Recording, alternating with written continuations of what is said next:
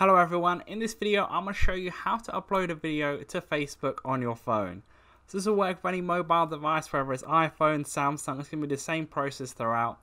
So first off, make sure you have the most updated version of Facebook on your phone, and once you've done that, you're going to want to click on the Facebook app, and it's going to bring up this page here, and then it's pretty simple process. You're going to want to see the top bit where it says what's on your mind, your status, photo, and check-in, that little three bits there. You're going to want to click on photo, uh, yes, it is going to be photo, even though you're going to want to upload a video. It's going to bring up your camera roll, and then you're going to want to click on the video you want. Also, you can click on the top right hand corner to make your own video.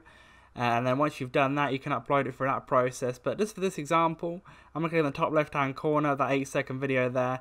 You want to click one, you can click multiple videos or pictures as well. Uh, but just for this example, I'm going to click this, top left hand corner. Once you've clicked the ones that you wanted, you want to click done and then uh, you can say something about the video as well that's like example video for instance um, alright so example and then once you've done that uh, you, you can just uh, click post in the top right hand corner.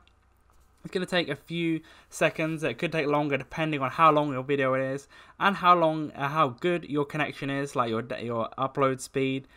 It's going to depend so you can see on the screen there it's going to be finishing uh, you can see it in the background. It's going to take a few seconds. This is an 8 second video. It shouldn't take too long.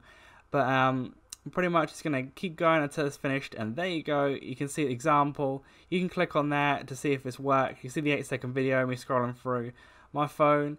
It's pretty simple as that. So that's how it's done. Upload a video to Facebook. Leave a like on the video if that did help you out. Subscribe for more videos like this.